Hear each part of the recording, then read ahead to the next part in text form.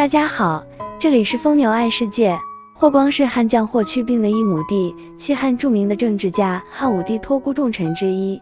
提到霍光的一生，功过有四件大事：托孤、辅政、除奸、废立。看上去四件事似乎没有什么关系，但实际上有一条主线贯穿始终，这也是霍光最大秘密，却一直不为人所提及。下面就让小编为大家抽丝剥茧，理清头绪，了解真实的霍光和他所作所为的目的。托孤之臣，谨慎之人。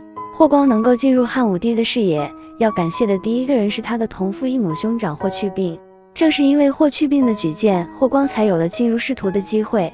他的第一个工作是郎官，随后又被升为诸曹，侍中，可谓平步青云。霍去病去世之后，汉武帝有提升霍光做了奉车都尉、光禄大夫。武帝出行就是奉车驾，回宫就是奉在身边。那么依靠外戚身份入仕的霍光，究竟有什么突出的能力，能够得到汉武帝的信任呢？三个原因。第一是汉武帝对霍去病的喜爱。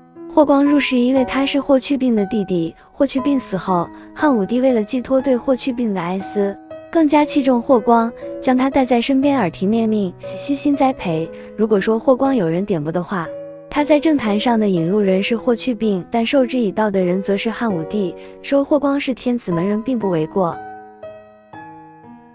第二是霍光的性格特征，按照《汉书》中的记载，出入京他二十余年，小心谨慎，未尝有过，甚见亲信。霍光辅佐汉武帝出入宫闱二十余年，未曾有过，这一点是十分难得的。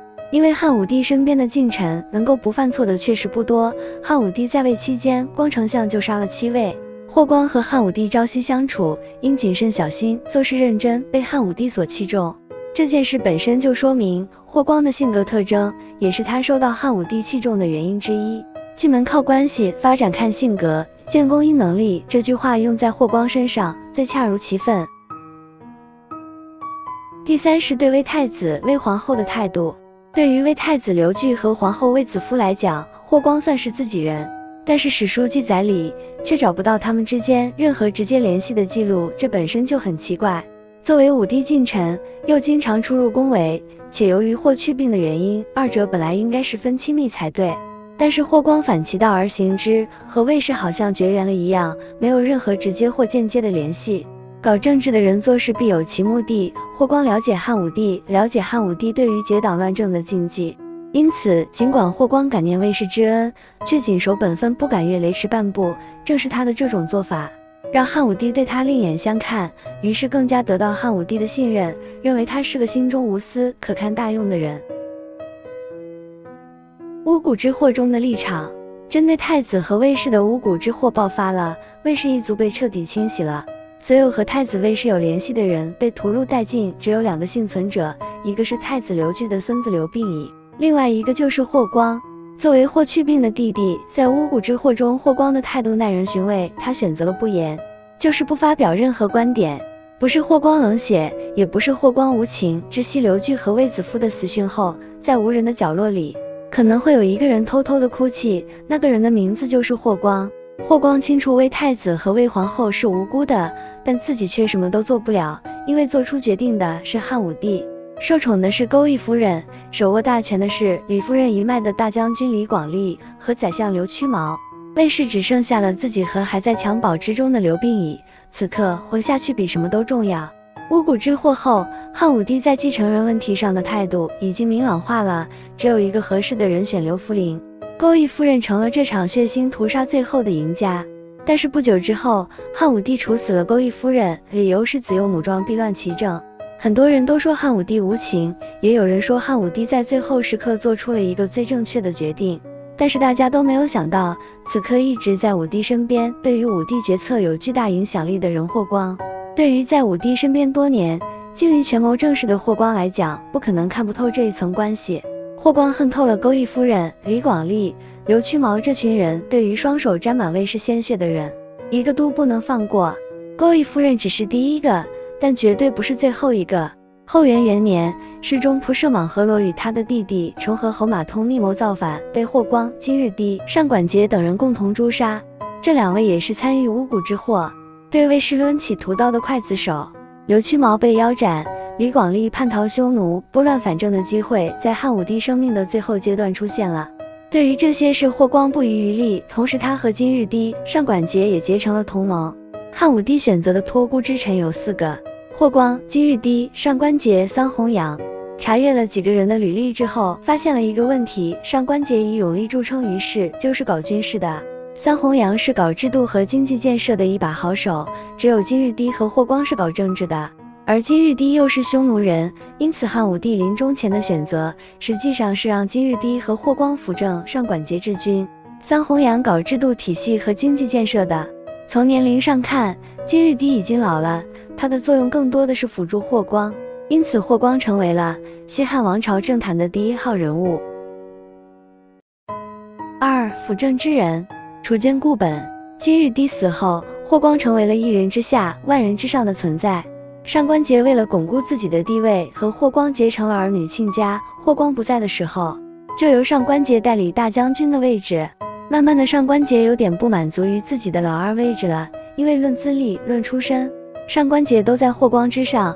但现在霍光是老大，自己还要处处看霍光的眼色行事。尽管和霍光结为了儿女亲家，但是并没有给自己带来多少好处，反而处处受到限制。因此，上官桀和霍光渐行渐远。桑弘羊对霍光也很不满，他在开边新历方面很有建树，又同为武帝托孤之臣。但是霍光似乎对自己并不感冒，自己提出的任命自家子弟做官的要求，一次次被霍光拒绝。因此桑弘羊对霍光也怀恨在心，同样对霍光充满敌意。还有燕王刘旦，他是汉昭帝刘弗陵的哥哥，因为没有继承帝位，因此对于汉昭帝心存怨恨。汉昭帝的姐姐恶意盖主，本来从小把汉昭帝带大。两人关系十分亲近，但因为他寡居多年，为了寻找感情上的寄托，就养了一个男宠丁外人，并想为这个男宠谋求官职。但这样的要求被霍光拒绝了，因此恶意盖主也对霍光不满。这四股势力联合在了一起，将矛头指向了霍光和汉昭帝。上官桀等人让人假冒燕王刘旦的使者，趁着霍光不在的时候，到汉昭帝面前告霍光的黑状。不料汉昭帝并不上当，还当众揭穿了上官桀等人的阴谋，这让上官桀一伙很恼火。于是，一不做二不休，他们联合起来，准备有恶意盖主出面宴请霍光，并在酒宴上除掉霍光，然后废黜刘弗陵，改立燕王刘旦为皇帝。但这个阴谋被霍光提前识破了，于是上官桀、上官安、桑弘羊、另外人被处死，恶意盖主，燕王刘旦也自杀身亡。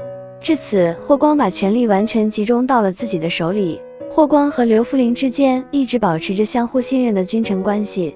在上官桀等人诬告霍光时，刘弗陵就说：“大将军是先帝托孤的大臣，辅佐汉室绝无二心，你们不要诬陷大将军。”同样，霍光并没有因为刘弗陵是勾弋夫人之子就对他心存怨恨，而是尽心尽力辅佐这位少年天子。孩子是无辜的，狠毒的是他的母亲勾弋夫人。刘弗陵并没有错，这十几年的日子是美好的，君臣齐心，天下安定，国力恢复。但在元平元年，大汉又陷入了危机之中。这一年，汉昭帝刘弗陵去世，没有子嗣的他，并没有确定接班人。三废立有因，并以为君。汉武帝的儿子只剩下广陵王刘胥了，因此很多大臣都表示要立刘胥。但是这个刘胥劣迹斑斑，汉武帝在位时。就把他排除在了继承人的名单之外，这样的人恐怕不是人君之选。但是霍光又不好说什么，恰好有一个郎官上了一份奏书，当初文王立武王姬发而不立长子伯邑考，就是因为姬发贤能，因此废长立幼是可行的。广陵王不可以做天子。这番话就和霍光自己说的一样，目的很明确，儿子里没有合适的人选，那就从小辈里选吧。至于是孙子辈还是曾孙子辈，立贤不立长为原则。这个时候皇太后发话了，那就选昌邑王吧。这位皇太后就是刘弗陵之妻，上官桀的孙女，霍光的外孙女。对于这个决定，霍光既感到意外，也感到为难，因为立皇孙是一定的，但昌邑王刘贺却不是自己心中的适当人选，因为刘贺是李夫人一脉，和李广利、刘屈毛有脱不开的干系。但霍光转念一想。如果刘贺败行丧德，也就是为君不贤，那么自己心中的适当人选就会变成唯一人选了。立昌邑王刘贺，就是为了立而后废，让霍光心目中的合适人选变成唯一人选。于是刘贺创造了一项记录，就是成为皇帝后，在短短的十几天时间里，做了一千多件坏事，相当于他在睡觉的时候都在作恶。现在看来，这无疑是个笑话，也是天大的谎言。但是在当时，这是大家都认同的事情。是大家都傻了吗？当然不是，朝堂上的都是聪明人，就因为聪明，他们才犯不上犯傻。因为霍光的就不大肆农田延年的表示，你们谁不支持废刘贺？我的宝剑可不认识人。到了这个时候，太后也没办法了，大家都说刘贺败行丧德，只好颁布诏书废掉了刘贺皇帝之位。但是国家不能没有皇帝，还有谁能立为天子呢？霍光这时才说出自己心中适当的人选，为太子之孙刘病已，这也是唯一人选。直到刘病已登上帝位的那一刻，霍光才如释重负般的松了口气，自己终于对得起兄长霍去病的信任，通过忍辱负重，经历了血雨腥风，替魏氏家族完成了绝地反击，将权力又交回了魏太子一脉的手里。在霍光生命的最后一刻，他请求将自己的封邑拿出一部分给霍去病的孙子，并封其为列侯。